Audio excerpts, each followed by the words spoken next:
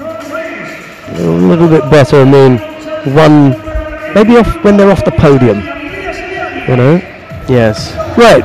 Let's um, have a look at the contestants in the under 100 kilo category. The final. It's Ilias Iliadis of Greece, and he faces Kobayashi Daisuke of Japan. It's Iliadis in white and Kobayashi in blue. Well, I can't deny that uh, I'm an Iliadis fan, as many people are, but uh, I don't know if he deserves to be in this final. Uh, after the um, hand tie with that's right. um, Maxim Rakov. That's right. And it's nothing against Iliadis. I just at all. thought that uh, I thought that the his I opponent yeah. fought better. I thought Rakov took it.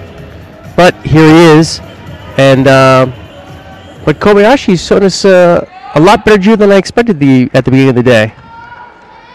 He was kind of the veteran hanging in there, and he's hung in there to the end, and he showed us some good judo. He hasn't had a bad draw, to be honest. It's always nice to have a good draw. He got a bit lucky with the draw. Had to work quite hard with Batolga on paper, but he finished him off easily enough. Yes. And now here comes the stiffest test of the day. And you'd expect that in the, you know, gold medal match. I'd say the Japanese fans have got to be a little bit nervous about this one. I'm sure they felt much, much more confident. Unfortunately, it didn't work out for Nishiyama, but they felt better with him versus Lee. Or was that Kim? Lee.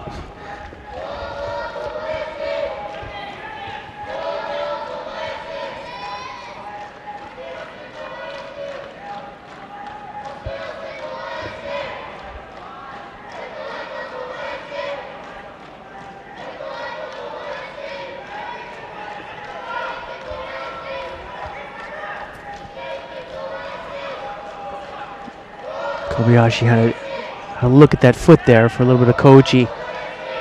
Hadn't really established a grip, so wasn't a big threat. And that was a nice look here at Ouchi. Still trying to manage that Ouchi. Iliadis really getting solid. Suzuki Keiji giving him some uh, some instruction from the side. Perhaps about controlling the upper body a little bit more.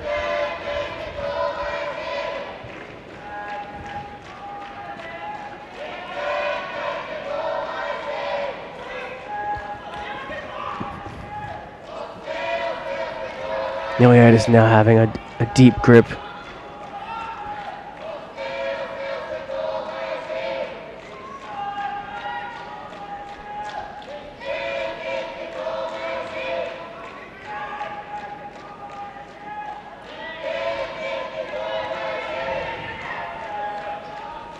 We actually seem to be a, doing a good job of trying to neutralize Iliadis' gripping strategy here and then trying in some of these exchanges to get a quick attack in in between.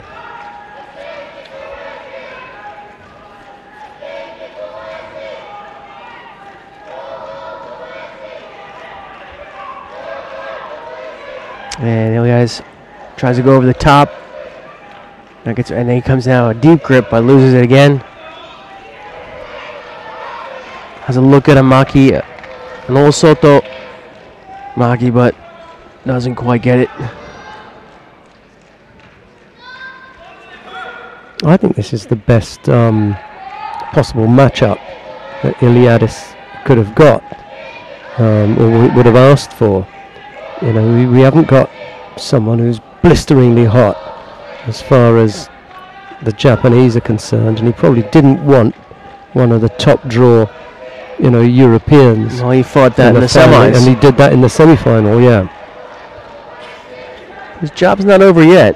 sure. I'm just wondering who, who else could have troubled him. He's, he's, he's had the problem man, hasn't he? In uh, in Rakov. Because the only other person, you know, up there, in, in inside the top 20 was Batolga. So really, this was a great one for Iliadis to uh, to come to, especially if he wanted to get some ranking points under his belt to see whether he's going to stay at um, at 100. And then we're going to get a warning to both.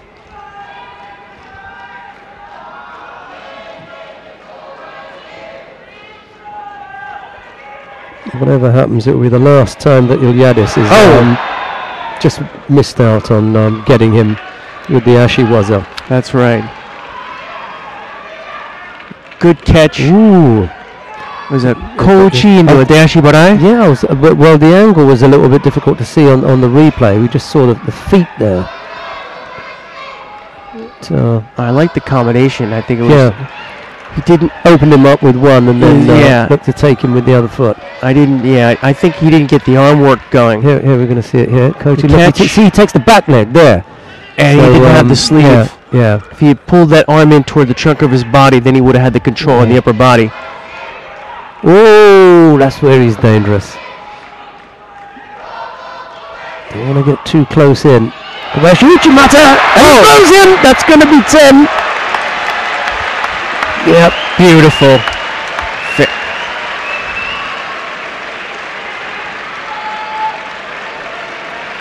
Kobayashi totally committed to that. And that was the same kind of commitment we saw in the semifinals where he did that second hop in the Uchimata and just drove his entire upper body into this. Bam! Oh,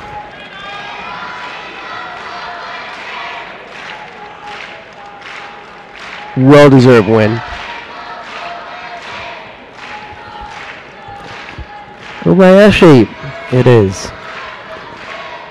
He manages to throw Ilias Iliadis for Ippon with Uchimata.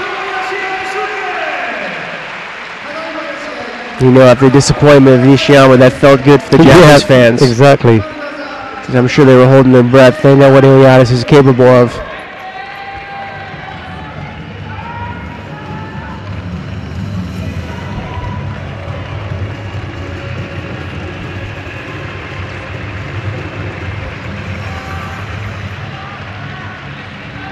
So we're going to hear what uh, Kobayashi has to say about um, defeating the legend that is Iliadis.